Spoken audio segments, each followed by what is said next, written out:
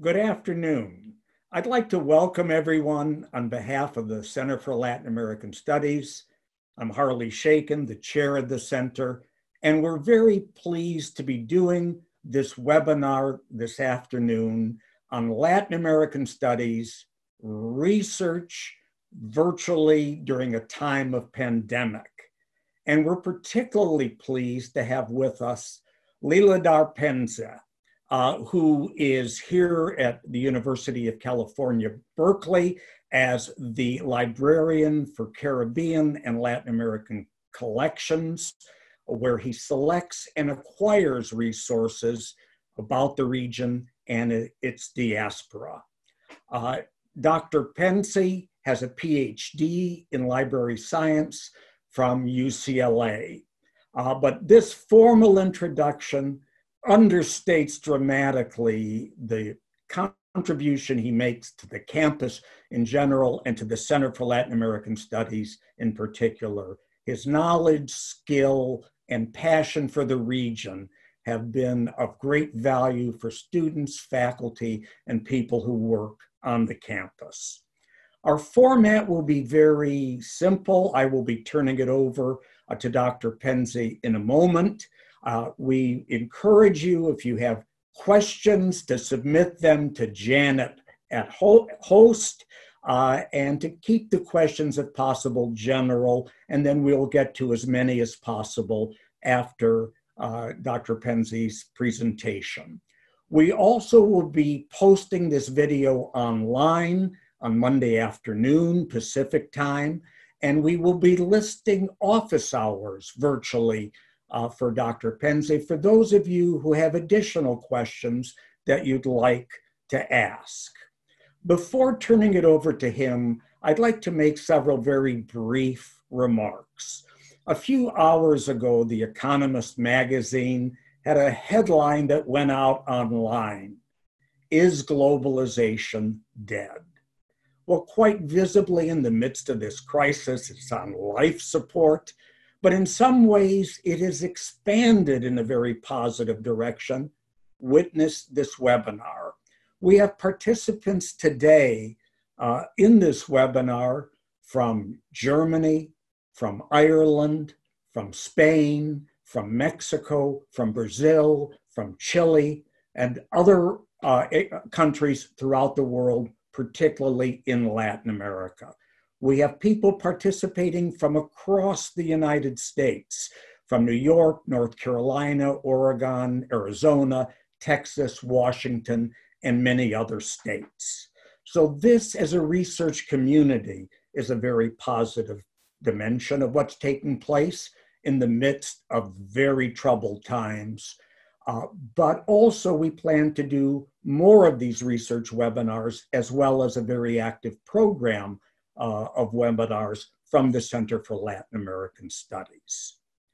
There's one thing I'd like to recognize before we begin, and that's during these deeply troubled times, the extraordinary contributions that libraries in general and the libraries at UC Berkeley in particular are making. We tend to take them for granted on a day to day basis, but they do something rather remarkable. They are a repository of culture, ideas, experiences, great manuscripts. They are valuable at any time. They are vital in many ways at the heart and soul of a democracy during deeply troubled times. And I'd like to give two brief examples of this at the libraries at the University of California, Berkeley. Uh, in our undergraduate library, the Moffitt Library, we have a cafe that commemorates the free speech movement, which took place on the Berkeley campus in the early 60s and galvanized in many ways many social movements throughout the country and throughout the world in its wake.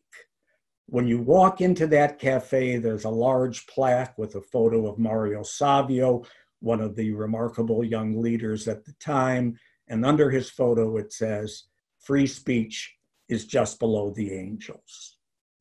More recently, uh, in 2007, uh, when we were in the midst of the Iraq War for the United States.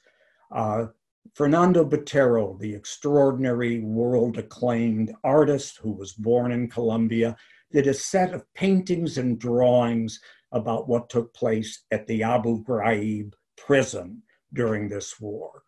Museums throughout the United States all passed on showing this collection. It was ultimately shown on the University of California at Berkeley campus. The exhibit was curated by the Center for Latin American Studies, but it physically was housed and would have been impossible without the extraordinary uh, contribution of the Berkeley Doe Library. Uh, and as, as a result of that, uh, these ideas sparked discussion uh, and great visibility and really uh, engagement throughout the United States. One of the things that was said as the uh, exhibit was up is that controversial ideas are no strangers to libraries. They have been on the shelves for centuries. What the Berkeley Library has done that's new is it has put them on the walls in the form of paintings. So, with that, I'd like to turn it over to Liladhar. Good afternoon, everybody. Buenas tardes, boa tarde, and boa noite. Um, I wanted to thank Professor Harley Shaiken and the staff of the class for inviting me to speak today about what are the possibilities for those who do not have access to the physical libraries. That includes, I believe, most of us. The idea of this presentation came to me when we closed down due to the shelter in place order, and I was answering a reference question.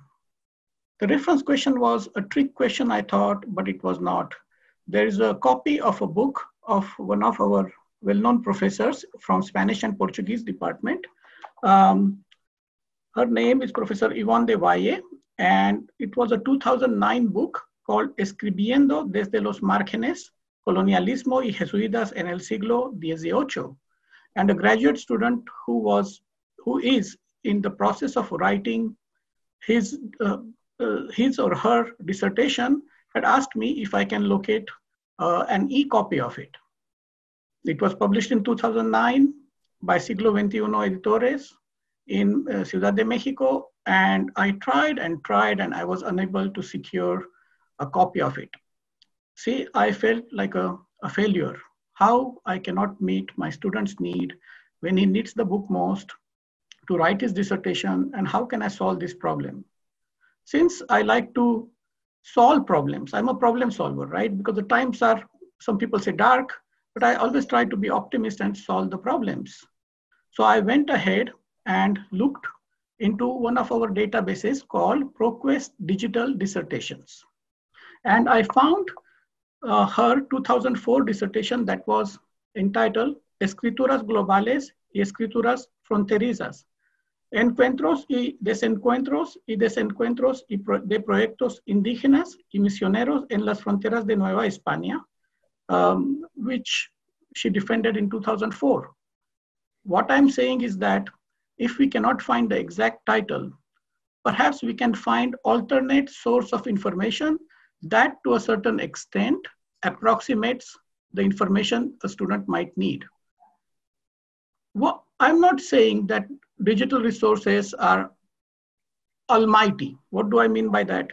You, there are a lot of rare books which are available only in the paper format.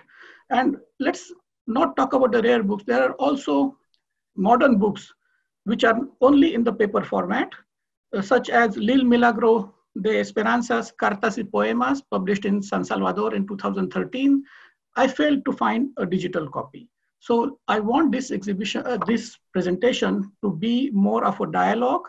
And I will start by sharing my screen about how I went about solving some of the issues. So let me start with a presentation and I'll share the, there you go. So let's go back. The title was already shown to you, so I will not repeat the title.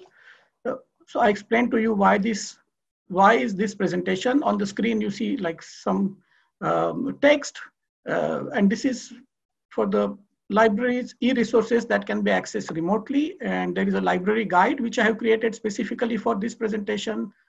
The guide focuses on several key resources.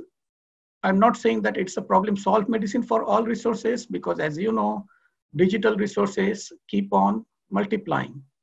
Then we will briefly talk about how to access some of the articles, e-books, some of the databases, open access, and then we'll have a, a brief uh, concluding remarks and then question and answers if time permits.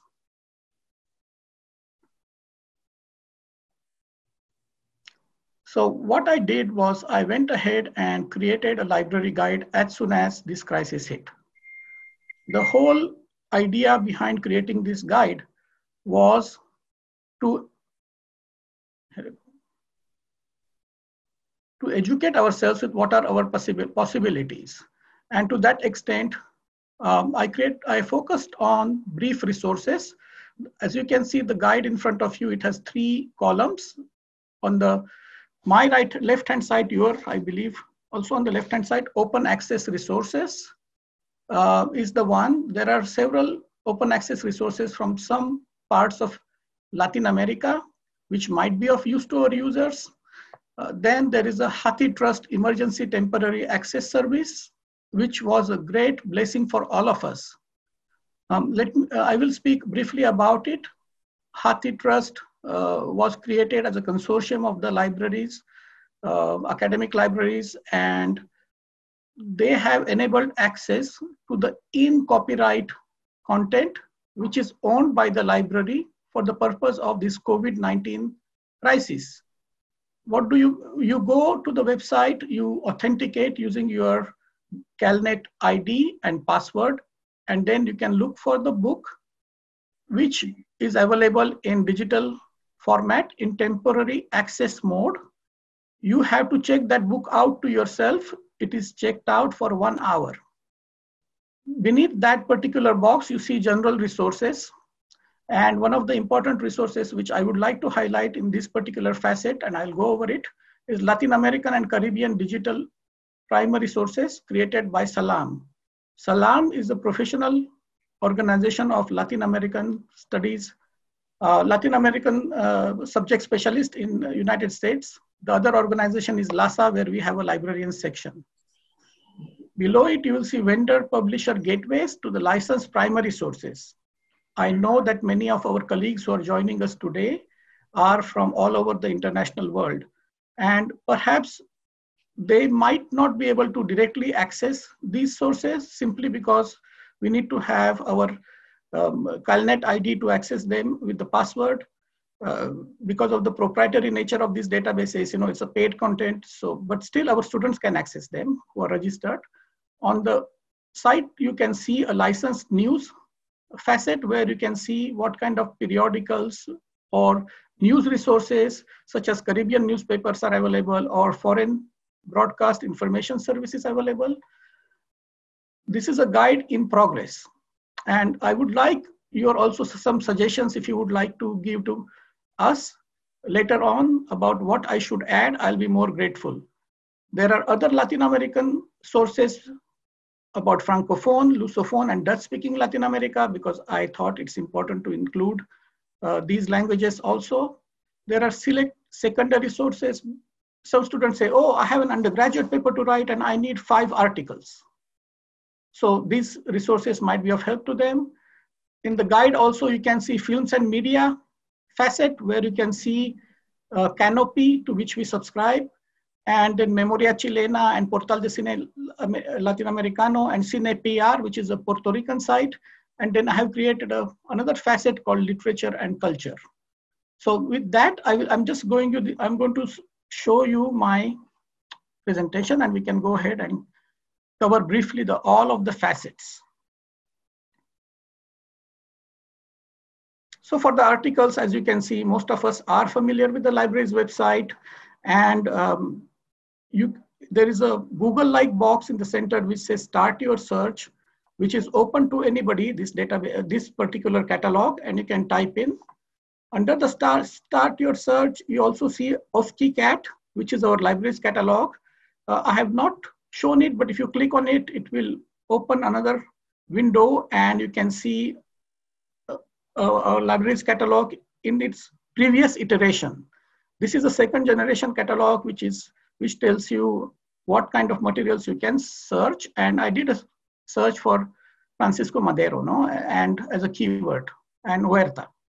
Uh, and you can see that it shows you on the left-hand side that do we have access to any of the full text articles.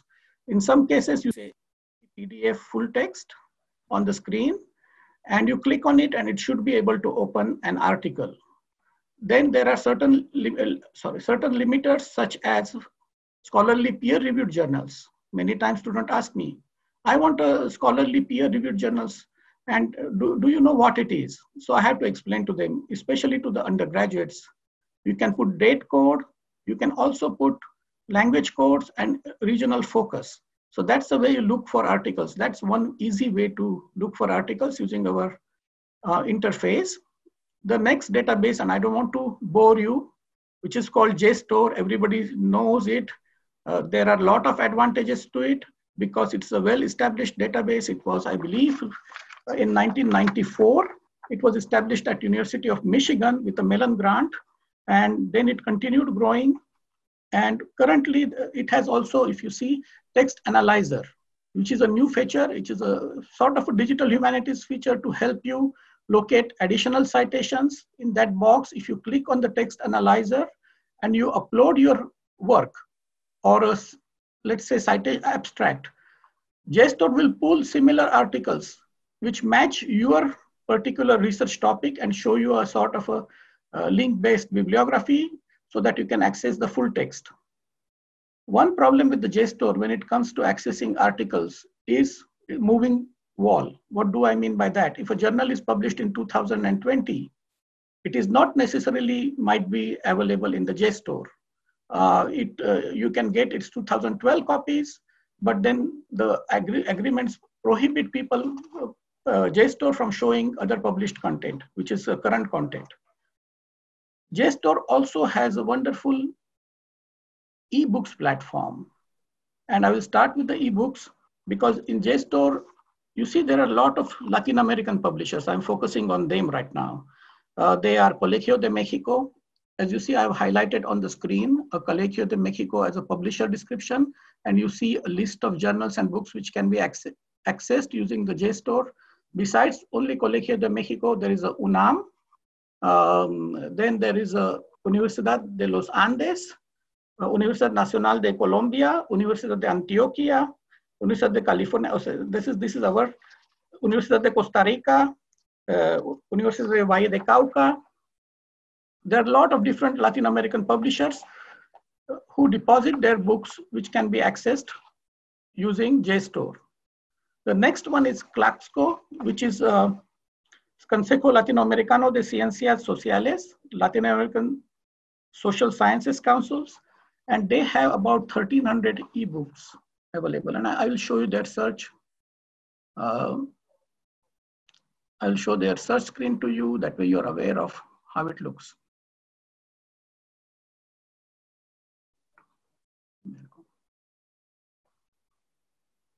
So they have open access books, which you can really check out and read.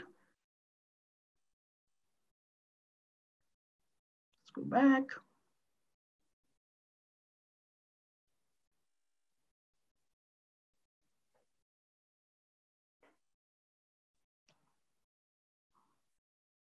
Sorry about that technical glitch. I'm, I'm catching up.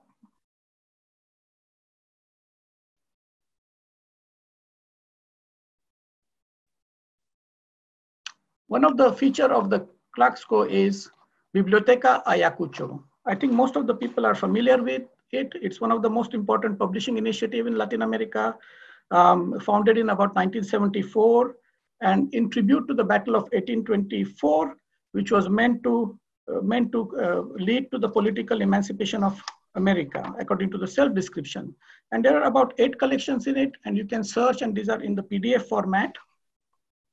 And you can look for those and search for those platforms through the open access principles.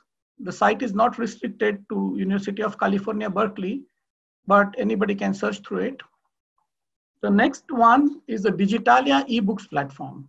Now, Digitalia has about, we have purchased this year uh, with, a, in, with the collaboration with the librarian for Spanish and Portuguese, Claude Potts, we purchased over 600 Digitalia eBooks. But before that, we have current content is about 2,600 full text ebooks, and it can be accessed through our catalog by using the function called digit, uh, in the keyword you type in digitalia ebooks and you get the listing of ebooks which are fully cataloged so you can search through them. On the screen we see a screenshot of digitalia which shows what books are available for us to access. Uh, there is a my shelf function to it. So one can save in the bookshelf uh, those books and refer to them later on. There is also you can see a screenshot of a Project Muse, where you can search for ebooks, which can be checked out to you. They are in PDF format. This is a proprietary database. Both of them, you need to have either subscription to them or buy the content. UC Berkeley Library subscribes to them, so you'll be able to access those. Then people say, what about the old books? And since um, our library, uh, special collection, very well known Bancroft Library, their collections are kind of closed, right? Physical collections. That does not mean that we cannot look at the older ebooks. For example, there is an initiative called Primeros Libros um, from Austin, Texas, which are the first books. And on the screen, you see three screenshots. One of them is the entry point then you see the search function and you can search for the books. And I'm showing you as an example, a screenshot of how one can read these books on the screen. Besides Primeros Libros, Bancroft Library has its wonderful e-collections available. And also there is a John Carter Brown Library of um, John Carter, yeah, at Brown has also a, uh, their web page available through archive.org. So you'll be able to look at the books from, let's say, um, 18th, 17th centuries um, and use them for your research. Now I'm coming to the databases. I'm, in my library guide, a, there are a bunch of databases that you can uh, use uh, as a Berkeley student and a faculty member, and also the visiting scholar if you have CalNet privileges. I would like to highlight two of those databases. One is called Gale World Scholar, Latin America and Caribbean. Um, it will allow you to search a comprehensive range of contemporary and historical documents for the region, providing research access across the humanities, both for current Latin American and the Caribbean studies, as well as historical perspective through the colonial uh, period some of the items that are included in this database are Brazil's popular groups, 1966, 1986, colección de documentos inéditos relativos al descubrimiento, conquista y organización de las antiguas posesiones españolas de América y Oceanía, conquistadores, the struggle for colonial power in Latin America, 1492-1825, then I am showing you a screenshot of a database called Access World News, News Bank newspapers. We have four distinct series of Latin America, two Latin American uh, historical newspapers which are available. Um, there was a research question on fall of Ciudad de Juarez in 1911, and somebody wanted to read something, uh, a, a headline from a news, Mexican newspaper called El Imparcial which uh, rendición de Juarez, it talks about it. And I was able to find the full text through it. Besides Access World News, there is another database which is called CRL, Center for Research Libraries. That is a consortium which is located in Chicago. And as a Berkeley affiliates who have proper credentials can access that database and look through the tons of Latin American and Caribbean studies newspapers. Access World News, which I'm talking about, on the screen shows you South America, Argentina, Bolivia, and shows you the historical resources. Next. The other database which I wanted to bring your attention to, because many of the students have question about sclavitude, slavery, abolition, and social justice. So there is a Alexander Press database called Slavery, Abolition, and Social Justice. And i am showing you two screenshots. One is the landing page of it, and there is a tutorials section, as you, if, um, if you can see my pointer. And then there is a map section. So it has introduction, documents, essays, maps, further resources, etc., etc.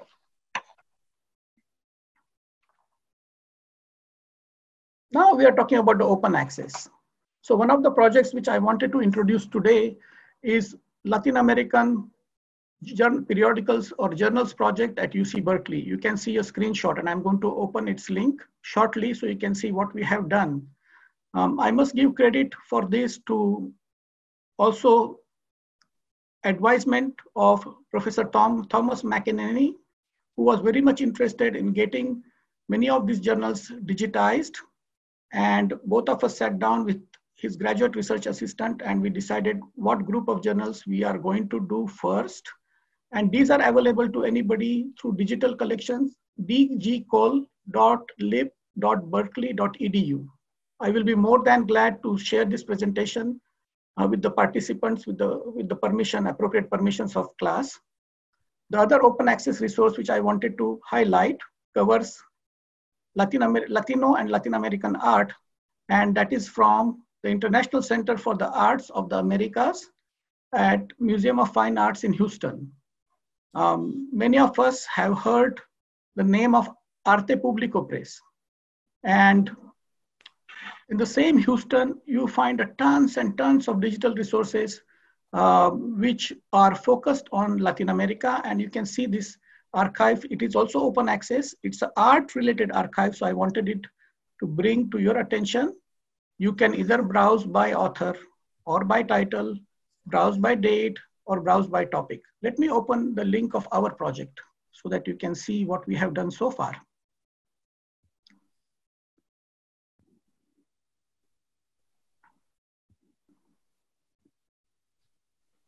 Okay, digital collections, let me just bring them up.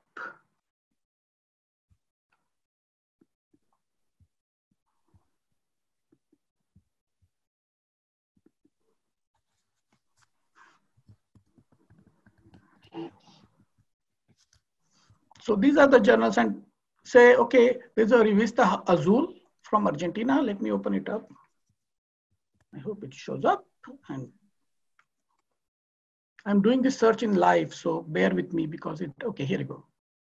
It will take some time for it to load. And if you click on 1931 issue, once it loads,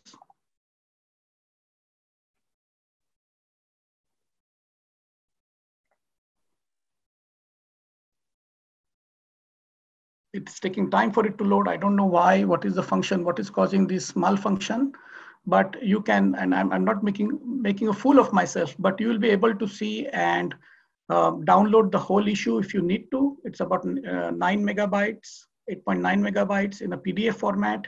Um, it also shows you if anybody had accessed it over the period of time. It's a very new project. We just started in uh, digitizing them last year, and it's a work in progress.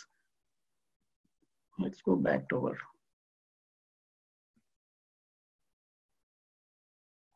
So what I did, I, I knew that this type of things happened during the presentation. So I went ahead and pulled a, a, a screenshot and it has a advanced. Okay,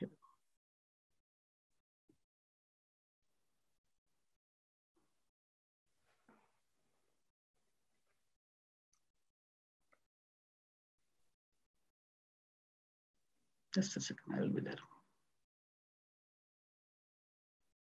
Very good. So you can see what you can see, which and I have tried it over and over and it works. There's an advanced search uh, interface. So you can go through the place of publication. You can go by date, date, format, and you can see actual images uh, on, on the, your screen and you can download a copy. Lastly, I, I am going to focus on, on online media because colleagues say, I'm sitting home, I'm cooked up, I want to watch something. Can you recommend any Latin American films which are technically free?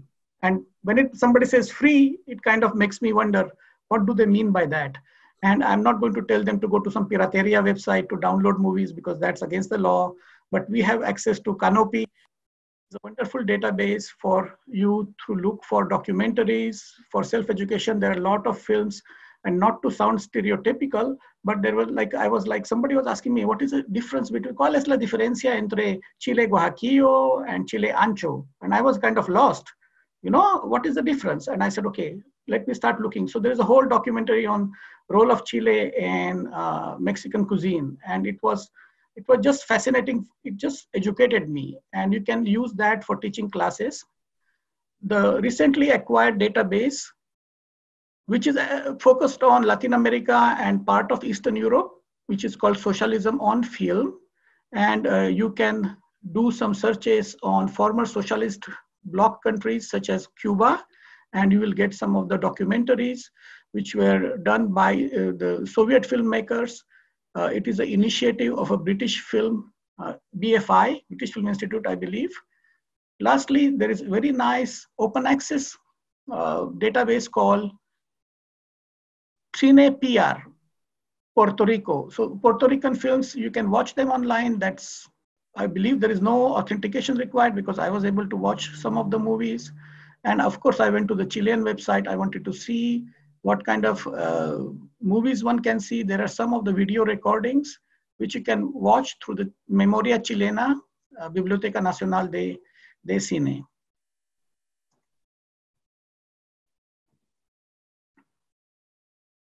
So on that, okay, oh, I'm sharing my screen with you. I'm so excited. yeah. Technology is what it is, what you make from it. So I wanted to say thank you to you for giving me time.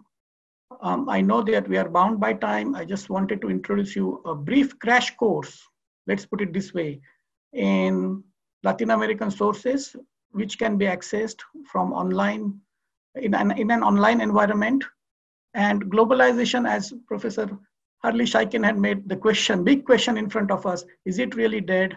And it has, I believe, mutated in different forms. And we are here as librarians to, to help our community. Uh, if you have any questions, I have uh, input my contact information that will be shared with you. We periodically have tri trials of Latin American databases. And currently we have a trial of classic Brazilian cinema online through Brill, and uh, all the information is on the blog. Thank you very much, Professor Shaiken and the audience for listening to me. Thank you, uh, Dr. Pendse. That was, I think, an inspiring talk in so many ways, really putting together a cornucopia of databases, some familiar to be sure, others completely new to many of the viewers here. Uh, I'd like to start by asking a general question. There are many viewers right now uh, participating who may not have access to the UC Berkeley library system. Uh, what advice would you give them in terms of looking towards some of these databases? So my advice will be to access these databases through their home institutions many of the public libraries have limited access to these proprietary databases. Open access databases are open to everyone. Uh, anybody can utilize them. And that's why on my library guide, I have a big column. It looks like a never ending list of open access resources. I don't like to put such a never ending list, but there are some of the selected uh, databases, like there is one on Argentine newspapers. One can access historical newspapers from Rosario from 19th century. You can access those at no charge from the web. In some cases, if a, pers a person who needs a particular article from a database, as a courtesy, as a librarian that we are trained to be, we try to accommodate the request by providing them a copy of a, from, of a, of a uh, article using the fair academic use clause, but we cannot summarily download 10,000 articles for somebody uh, who is not allowed to have access because of jurisdiction or copyright constraints. Okay, thank you. Uh, another very general question uh, that may be impossible to answer. Uh, you went through a number of new databases uh, that may be unfamiliar. Are there two or three relatively unfamiliar databases, some of which you may have just mentioned, that you would highlight right now? Uh, check these three out. So most of the people know um, from Latin America, or many of us know that there are several um, online free databases such as Redalyc, and then there is a, database called SciELO Brazil, which gives access to uh, free content, free articles to a certain extent. I will highlight Biblioteca Virtual de Mexico, which has access to their books uh, there is an Argentine digital library and Chilean digital libraries, which are open access. You can read all uh, of the open access contents which, which they have digitized into through those databases. There is a uh, there are a lot of materials on historical homelands of Mapuche, uh, Mapudungun language. So you, you will be able to access those. So these are the databases that come to my mind uh, for general audiences who might not have access to proprietary databases. Thank you. Uh, now I'd like to ask a question uh, from someone who sent it in on, on chat. And I'd say to everyone again, if you have a question, send it to Janet Host and we'll try to get to it. And if we don't get to it, we will submit the questions uh, to Liladhar uh, after this uh, webinar, and he may be able to answer some of them online. This is a specific question for Berkeley from Elena from Oakland. Do we know anything more about the plans for reopening the Bancroft? Also, what is the capacity of DOE, that's uh, the principal library on campus, uh, for reopening or scanning materials for researchers this summer? All right. So as you know, we are in the situation of flux. Some, there are phased opening of certain areas uh, as mandated by the public health laws of California. Library adheres to the UC Berkeley's organizational principles and policies, as well as the local, county, as well as state and federal laws. So opening, as I understand, will take place in phases phase zero, phase one, phase two, phase three, phase four. And if you're telling me to look and pinpoint a specific date on my calendar, um, it will be a folly of my, my judgment because we don't know how this particular pandemic will proceed. We are also sitting, working from home every day, trying to meet user needs. Uh, if she has any specific questions for some of the items, uh, online archive of California, there are some digitized content. Calisphere, which is a UC initiative. I wanted to show that screen to you, but because of the lack of time, uh, I refrained from showing it to you. You'll be able to do some searches in there. DOE library is also part of UC Berkeley library system, and they are in the almost annex, they're close to each other, means they're connected, Bancroft and DOE to a certain extent. And we work with Bancroft curators so I cannot give the concrete answer. So stay tuned for more information from the Chancellor's Leadership Office and the committee which is working on COVID-19 type of things. Thank you. And I would point out that we will be posting new information in this area uh, on the website uh, for the Center for Latin American Studies at Berkeley. That's clas.berkeley.edu. Uh, I have a comment uh, from Emily, and then a question from Monica. Emily's comment is uh, this is not a question, but please convey uh, immense gratitude to Liladhar for his work and for walking us through all of this. We are so lucky to have him. I personally would endorse this. I've learned a lot, as well as uh, I suspect most of those of you who are part of this. Uh, and then the question from Monica is, uh, accessing contemporary fiction from the Southern Cone in Brazil.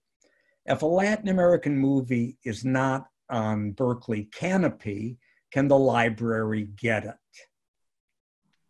We are prioritizing e-acquisitions right now. So if she's affiliated with Berkeley, by all means, send, send me the request and I will forward it to the appropriate department or a curator who can consider possibilities of buying it for the user uh, for the teaching or for the class consumption or for research. It is decided case by case basis. One of the scenarios uh, which I rather not go into the detail is that some of the books which were $40 per se in a physical copy are currently getting retailed at $371 for multi-user access. This is not all the books, but I have encountered some kind of price changes. So we are debating on how to solve this issue. But we are here for you. So send us a request um, through, through CLAS to me, and I'll be more than glad to help you out. Uh, this is a question um, from Elisa. Uh, what other media is available? Audio, podcast, music. Thank you from a librarian in Oakland. Oh wow! So we have access to, for music. We have access to Naxos Music Music Library. Um, I'll be more than glad to share that link with you uh, through the CLAS, and you can um, listen to different types of music, including samba and uh, you know a lot of different genres. Besides that, there is an open access resource uh, created by UCLA, which is called Frontera Project, and in that you have LP long play those discs uh, digitized and you can listen to them. In some cases, and I don't want to be misquoted here, uh, some of the content providers have provided temporary COVID-19 access to those. Um, some of the classical music databases, as I recall, because we had a lot of emails going back and forth. So I'll be more than glad to answer those questions. You know, uh, I don't want to say YouTube. Whole world knows about YouTube. So there are some documentaries but I don't know whether they can be used in class teaching. Maybe perhaps the segments, you know, and I'm not legal because of the copyright issues. Thank you. And we'd like to ask everyone who has a comment uh, on the webinar today, uh, both positive or critical in ways we might be able to improve, to send, a, send it to Janet uh, Host uh, and we will look at this and we will try to answer some of your questions, as I mentioned, by sending them to Liladhar uh, and his own virtual office hours that we will post on the clas.berkeley.edu website. Uh, and we look forward to this being an ongoing conversation for those who are interested. We look forward to doing future webinars on researches research during a time of pandemic for Latin American studies and would like to have Liladhar come back. So Liladhar, I'd like to ask you, do you have any concluding remarks you'd like to make? The times are tough for all of us. As a librarians, we are here to meet your needs as much as we can through our e-resources. And I wanted to once again thank CLAS Professor Shaiken, Julia, Janet, Ana de Carolis, and Greg for always being supportive of my initiatives. Uh, when I joined the library and when I was tasked to do Latin America, uh, it was a big challenge. Pero si se puede. So we are here, we can get it done, we are here to help you. Y si queremos información en español, aquí estamos. Queremos, falamos português, não tem problema não. So if you need any help, I'm here for you. Just reach out to us through CLAS and we'll be, we'll be more than glad to help you. So thank you again. Stay safe and be well. Thank you again. Thank you, Liladhar, and thank you all for attending this uh, today. Uh, it is inspiring for us, not simply to be part of a, a community at UC Berkeley, but to be part of a community that spans cities and institutions across the globe, across the United States. We look forward on building on this community. Uh, and with that, thank you for being here, and we'll be concluding this broadcast.